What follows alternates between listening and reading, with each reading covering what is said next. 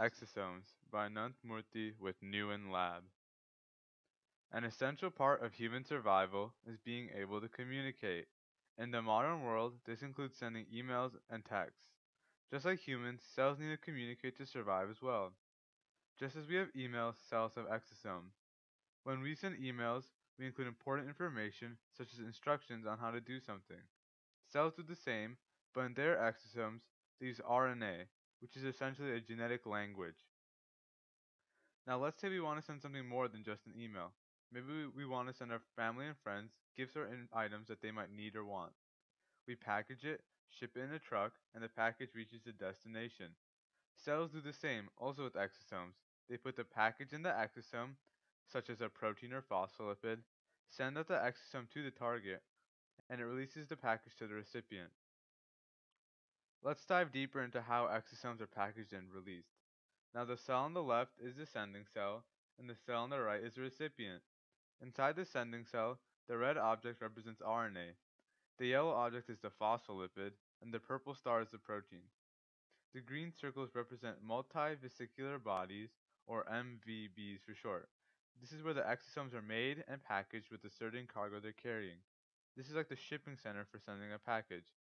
To enter, the cargo buds into the MVB, taking some of the MVB's membrane with it. This membrane makes the exosome that surrounds the cargo.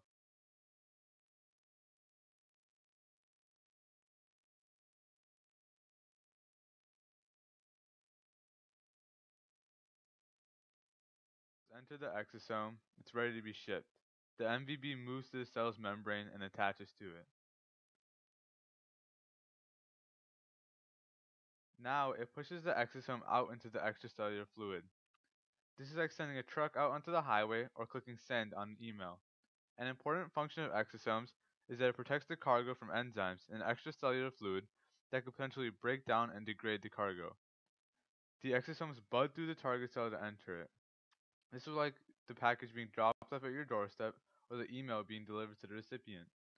Sometimes the exosome doesn't bud into the cell, but binds to the membrane, like the protein exosome at the top.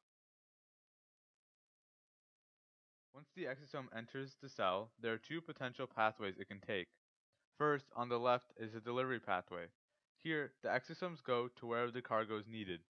The RNA and proteins may go to the nucleus, the phospholipid may go to the membrane, or any other organelle that needs the cargo. On the right is the endosomal pathway. In this pathway, the cargo is broken down. This exists as a protective measure for the recipient cell. First, the exosomes enter the early endosome. The early endosome then matures into the late endosome, and then enters the lysosome. Once it enters the lysosome, the acidic enzymes inside the lysosome break everything down. Now, let's look at the variety of functions that exosomes play a role in, both positive and negative. First, let's start with the negatives.